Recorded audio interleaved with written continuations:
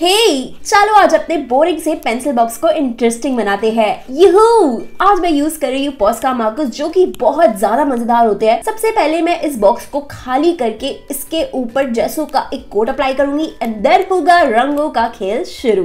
यार जल्दी से कमेंट करके बता दो आप कौन सी क्लास में पढ़ते हो? यहाँ मैं डिफरेंट डिफरेंट कलर्स को यूज़ करके बहुत बेसिक पैटर्न बना रही हूँ। ये प्रोसेस काफ़ी ज़्यादा इजी एंड मज़ेदार भी है। मज़ाक नहीं कर रही। कलर्स एड करने के बाद मैं white and black acrylic colour की हेल्प से इसमें एक्सप्लोर लिखूँगी बिकॉज़ मुझे सब कुछ एक्सप्लोर करने में बहुत ज़्यादा मज़ा आता है। आप चाहो तो आप अपना नाम भी लिख सकते हो। ये देखो, हो गया हमारा क्यूट सा पेंसिल बॉक्स रेडी ऐसी ही वीडियोस के लिए सब्सक्राइब करना मत भूलना। Bye bye